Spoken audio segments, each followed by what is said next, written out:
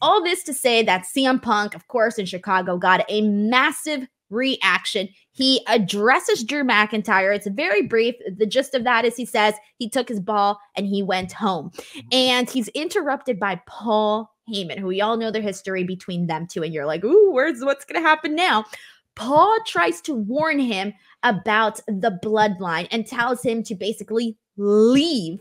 And of course, CM Punk's not really buying any of that the bloodline goes out there and CM Punk basically buries them. He tells them, like, I forget what the hell he says, but he basically says that they are uh, like a cheap knockoff of Roman Reigns and basically everything that the internet has been saying. So he basically buried them. And I'm thinking, oh, oh that's rough. That's, that's really rough. How, how are you going to bounce back from that? Right. And, um, the bloodline tries to get in there and it looks like CM Punk was going to be out now, uh, outnumbered for a second, but Cody Rhodes comes out and has his back. And so that is how we sort of closed out this opening segment here. So, what did you think of just this portion that we that we covered right now? I think uh, it's been amazing. I mean, it really has, and and you knew that the Drew, Drew McIntyre quitting thing was not lasting very long. And once you knew that Punk was going to be on SmackDown, you kind of knew Drew McIntyre was going to be on SmackDown. And I thought the ending, I, I don't know if I've talked about this. I thought the ending to Clash of the Castle was immaculate. I thought Drew McIntyre could not win that match. I don't care where it was. We all saw it coming. Everybody knew this was going to happen. Yeah, but it's the way it happened. And and Drew McIntyre could not win there. It made no sense. It made no sense. Once Gunther won King of the Ring, you can't then have Gunther and Drew McIntyre at SummerSlam. You have Gunther and, and Damian Priest, so Gunther can have his moment getting that, that world heavyweight title. And you already had all this build that you had put into Punk and, and Drew McIntyre, including Punk costing him at WrestleMania. So, yeah, if it had been done the exact same way, it might not have come across well. But call back to the camera shots we've talked about. The camera shot there with him running down the ref, the you never see the, the front of his face until he's doing this at, at Drew McIntyre. Oh, that was awesome. And then it comes through to this week, and Drew gets his lick back and looks, you know, Drew looks damn strong. He's leaving a bloodied CM Punk on the ground, having to get stretchered out of the damn arena, right? Like, Drew looks strong. Drew has never been bigger than he is right now.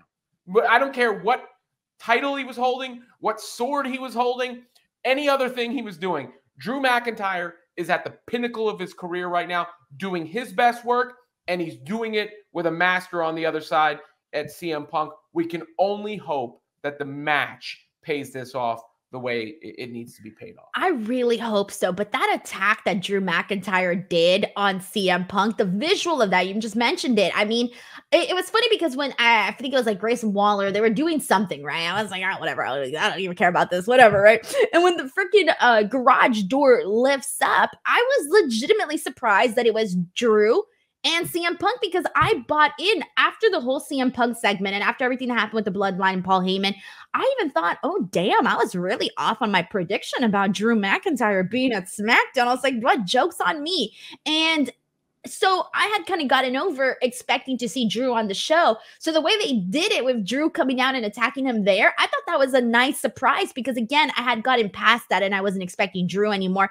And I love the symbolism of it all because CM Punk screwed him in Scotland, right? His hometown. So what does he do? He beats this man up, bloody pulp, and basically serves him on a dish to his people in Chicago. I mean, the symbolism of that is phenomenal. I, I, I really love that it was so simple. I'm gonna beat this man and leave him here like a piece of meat. And I also thought it was funny because Drew McIntyre is no longer praying. He is now taking the actions into his own hands. I loved this attack. I think this was my favorite thing that I saw this week in wrestling. The Drew McIntyre attack on CM Punk. And that's saying a lot because I really love the Jacob Fatu. Actually, I might be torn on this comment. Once I said it, I started to think twice about it. Robin, I really i liked Jacob Fatu's I really uh, debut too. I really like the Wyatt intro, but I think you're right. Uh, Punk and Drew is the best thing going in wrestling right now. I, I think all all all things considered, it's had time to marinate. Like I just said, Drew is is doing the best work of his career. Punk really hasn't been back. right? Like he came back at Survivor Series, but everything got derailed because of his injury. So he hasn't, it feels very fresh. I mean, it's like all of a sudden he's back again and he's in this red hot program and they did it perfectly. I love the way you described him being, you know, deep dish punk pizza in, in, yeah. down. But they gave them they gave them everything you could want because they gave them the celebratory moment at the beginning, and you could see it on Punk's face. He just looks happier. I don't know, you know, I don't think it's a show. I don't think you can act that well. He looks like somebody who has found some level of peace in this chapter of his life. Well, we'll see if it stays that way or whatnot. But right now, he looks happy. He looks vibrant. And he was out there with the crowd celebrating and all that. And then all of a sudden, boom. Nope, you're not you're not leaving happy. You're you're leaving in the back of that ambulance. Now here's my question though. Is CM Punk cleared?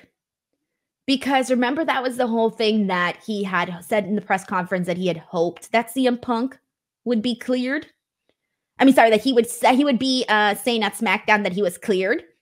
I mean, we didn't get that, and he got taken out, and who knows when he's going to come back. I, Do you think that this was them saying, "And eh, we're going to need a little bit more time"? I think he's on the precipice of being cleared, and I think as long as it's by SummerSlam. Now, the, the question with Punk, and this is the real worry with Punk, is can he stay healthy because he's been hurt a lot in, in recent years. But I think all he has to be ready for is I don't remember the date for SummerSlam, late August. Is uh, late yeah, August? late August. Yeah. So as long that that's another two months from now. Is he healthy by then? I think that's all that matters because I think they can get us there without him being in the ring. I hope so too, man, because I want to get the payoff to this. This is my favorite storyline right now. So I'm going to need the payoff to this.